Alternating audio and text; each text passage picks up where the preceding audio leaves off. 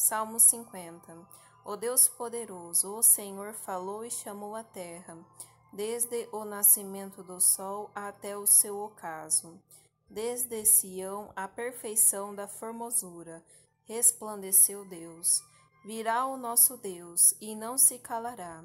Um fogo se irá consumindo diante dele, e haverá grande tormenta ao redor dele.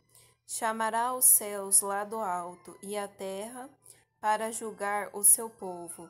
Ajuntai-me os meus santos, aquele que fizeram comigo uma aliança com sacrifícios. E os céus anunciarão a sua justiça, pois Deus mesmo é o juiz. Ouve, povo meu, e eu falarei, ó Israel, e eu protestarei contra ti Sou Deus, sou o teu Deus. Não te repreenderei pelos teus sacrifícios ou holocaustos que estão continuamente perante mim.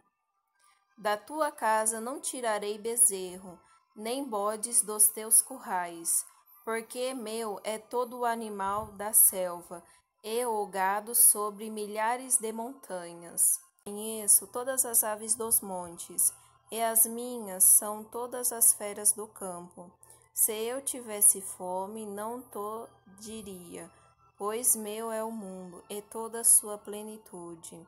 Comerei eu carne de touros, ou beberei sangue de bodes? Oferece a Deus sacrifício de louvor, e paga ao Altíssimo os teus votos, e invoca-me no dia da angústia eu te livrarei e tu me glorificarás. Mas ao ímpio diz Deus: Que fazes tu em recitar os meus estatutos e em tomar a minha aliança na tua boca? Visto que odeias a correção e lanças as minhas palavras para detrás de ti? Quando vês o ladrão, consentes com ele, e tens a tua parte com os adúlteros. Soltas a tua boca para o mal, e a tua língua compõe o um engano. Assentas-te a falar contra teu irmão, falas mal contra o filho de tua mãe. Estas coisas tens feito, e eu me calei.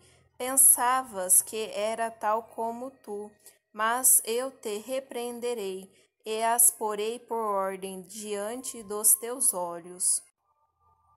Ouvi, pois, isto, vós que vos esqueceis de Deus, para que eu vos não faça em pedaços, sem haver quem vos livre.